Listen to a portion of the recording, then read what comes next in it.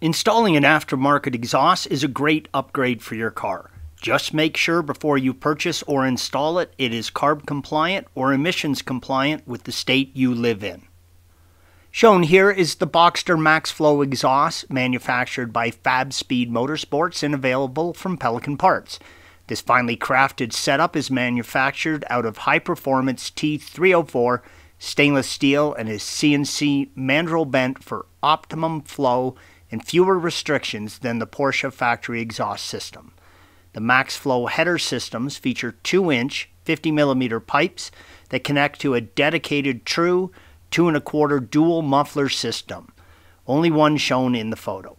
The dual canister MaxFlow exhaust system is low profile and utilizes secondary cat bypass pipes to save 30 pounds of weight compared to the Porsche factory system. Plus, the whole sound of the system is way cooler than the wimpy stock factory muffler. The two mufflers are joined together to reduce resonance and balance the exhaust on both sides. The system utilizes the long stock muffler mounting bracket that normally attaches to the top of the stock muffler. Custom brackets attached to the existing mounting holes on the bracket, green arrow. A large stainless steel clamp is used to support the weight of each muffler from the bracket, yellow arrow. There are two brackets, one on each side, blue arrow, opposite side. This system includes a pair of high flow catalytic converters. As mentioned in the text, these converters are lighter weight and also more efficient than the stock dual units designed over a decade ago. Use the stock manifold hardware, yellow arrow, to mount the headers CAT unit with the supplied copper gasket. Insert. Here's a side shot of the new catalytic converter unit installed. These things look so good it's a shame they're hidden underneath the engine. Connect the joints together using the supplied thick copper gaskets and self-locking copper nuts. The crossover pipes are attached to the ends of the catalytic converter header assembly and joined with a clamp. This allows some flexibility when installing the system. All cars are made slightly differently, and sometimes rigid pieces of exhaust pipe will not fit perfectly without some give and take. The secondary pipes that connect to each muffler have a built-in flexible joint.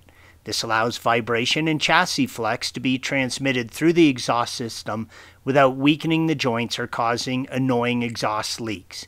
The secondary pipe is attached directly to the muffler via a heavy-duty exhaust clamp, yellow arrow.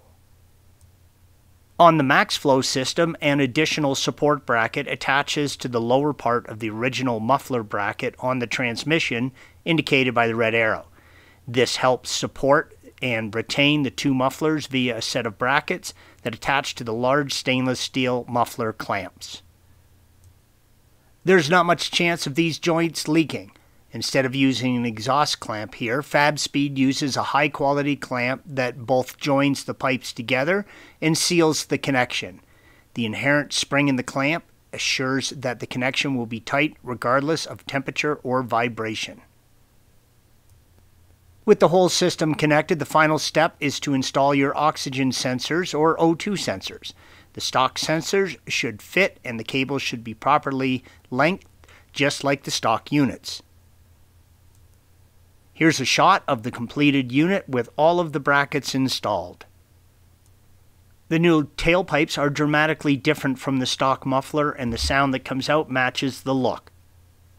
Thanks for watching. Be sure to subscribe to our channel and check out another video in this series.